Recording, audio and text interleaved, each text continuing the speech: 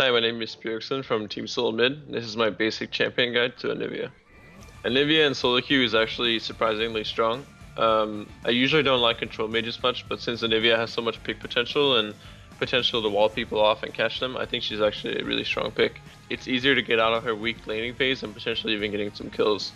So I think Anivia is actually a really good champion for carrying solo queue, but she's hard to play and has a high skill cap, so you have to be good at her to make it work.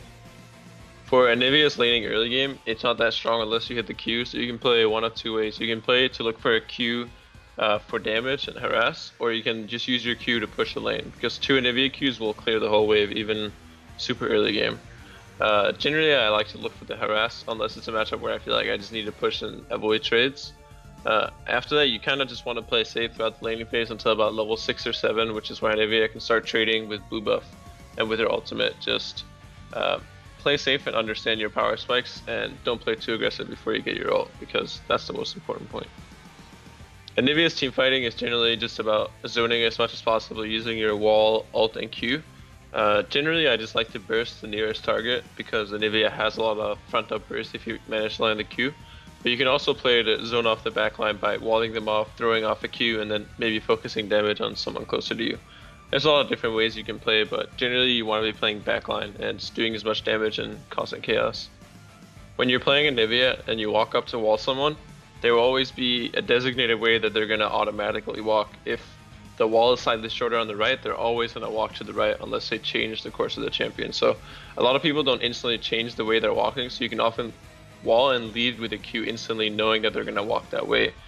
Um, a good tip for soloing blue throughout the game is that you can wall blue into his little corner and he won't do any damage to you and it's not going to reset or lose patience.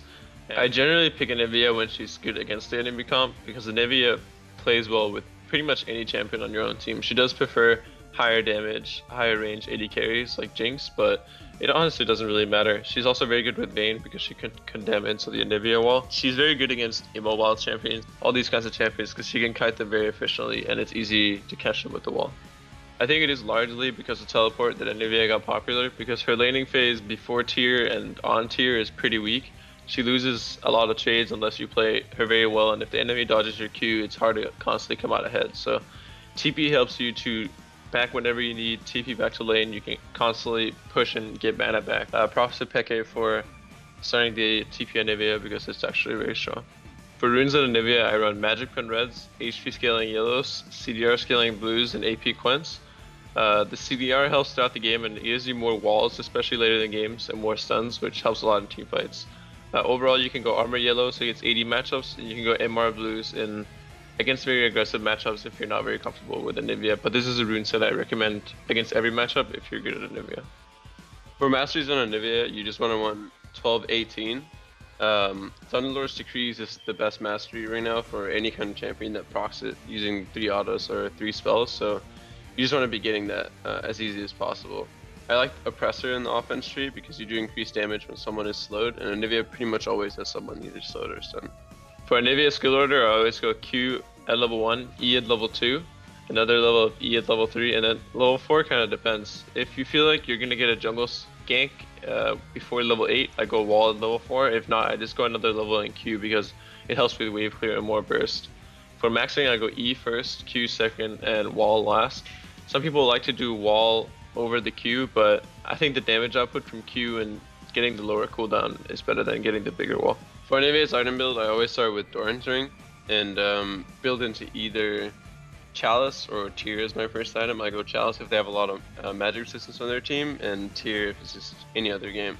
Uh, then my first item is usually Rod of Ages. After the buffs, it's been really, really strong. Just 20 extra AP and tiny bit more cost.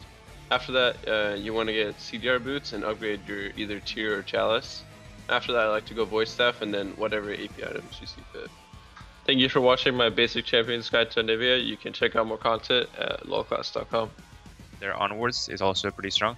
Overall, I'd say that he is a very decent pick right now, especially with all the attack reliant champions with Rageblade going around. Um, so he's definitely one of